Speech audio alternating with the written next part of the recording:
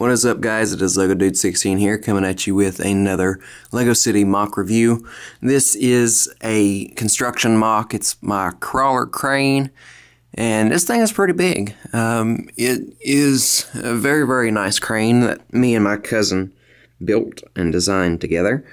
Um, we'll just go over some of the features here and First off, I'm going to start out by saying that these wheels and whatnot and the track that is used is like Mega Blok or something.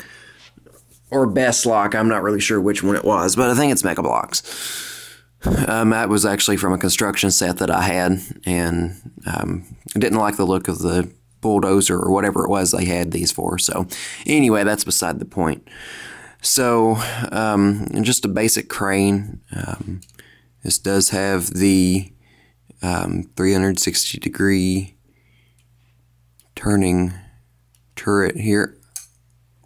It turns all the way around, as you can see. And it has a fixed boom on it. And it's a pretty tall boom. It's about a foot tall. And it does have a little hook here on the end. Um, I don't really actually have the hook piece to do that with, so I just kind of made one and um, it does have a big counterweight back here for the heavy loads and whatnot. And so I tried to make it as realistic as possible.